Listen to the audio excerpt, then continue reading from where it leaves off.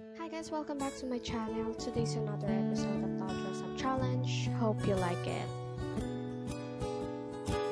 As you all know, I do love collecting dolls. And of course, I love collecting their clothes.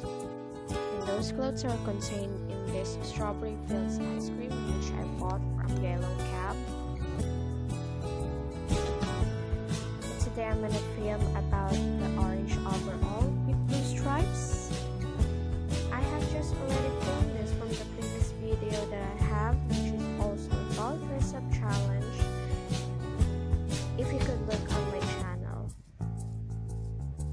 I'm gonna wear this to my doll right now to see how it looks like.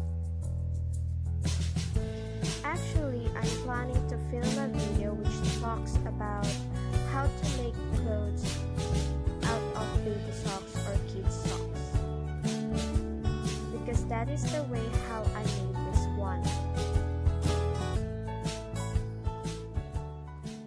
And I think we're done. She's now pictorial ready. And now, let's see at the back.